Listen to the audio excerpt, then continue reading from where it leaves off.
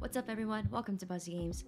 Let's learn how to make a light switch. So right now I have the most basic house ever and it's pretty dark if we go inside of it. And what I want to do is go ahead and create a part that is going to be our light switch. It's going to be a simple one for me. Um, you guys can make this as fancy as you want. I'll have the light switch by the door.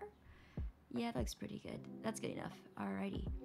So now that we have our light switch, we need to have our source of light or the part that is going to be the source of light when we code it. So all we're to do is just grab a part and I'm going to go ahead and make it as big as the the house.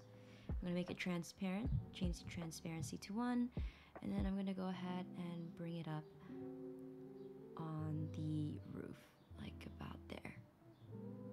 that looks pretty good.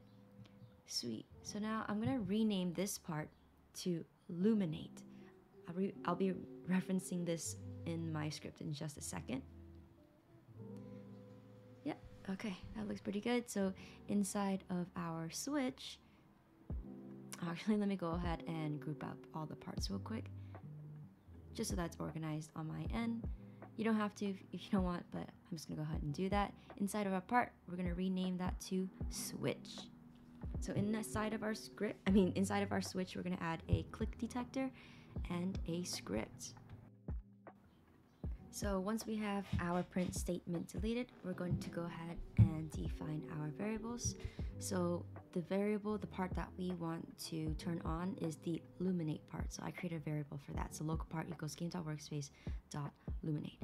We're going to go ahead and create a function where anytime if we click the switch button, then the light is going to turn on. So I'm going to set the properties of the light and the brightness of it. You can change this brightness value to however bright you want. I'm going to set it to 25. And then else, if we click the light switch again, then it's going to uh, destroy the light or just simply turn it off. I'm going to go ahead and call my function and that's it. So now I'm just going to go ahead and hop into my game, walk inside of my house, pretty dark.